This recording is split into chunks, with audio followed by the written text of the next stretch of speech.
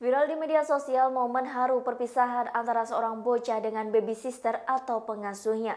Video ini mulanya diunggah oleh akun TikTok @yesalhos pada Senin 10 Mei 2021 itu telah ditonton 3 juta kali. Tampak seorang bocah bernama Raja yang menangis histeris saat baby sisternya mau pulang kampung.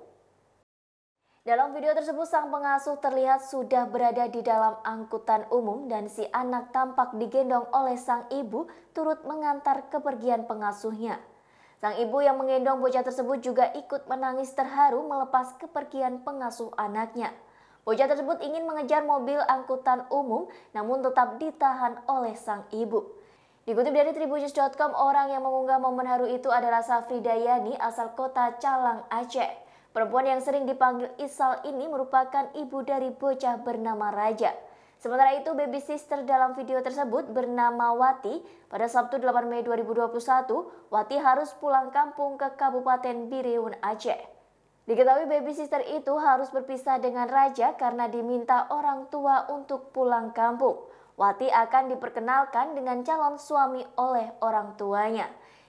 Hingga Rabu 12 Mei 2021, video tersebut sudah dilihat lebih dari 3 juta kali, 144 ribu like, dan 3078 komentar.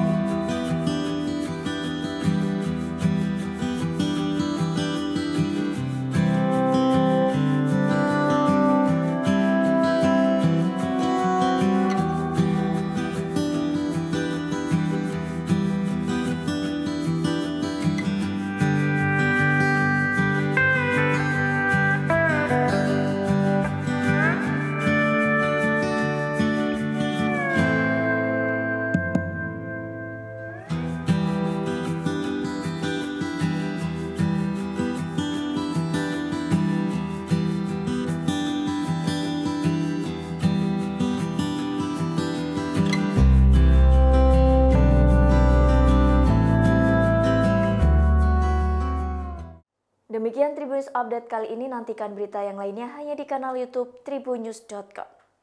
Terima kasih sudah nonton. Jangan lupa like, subscribe, dan share ya.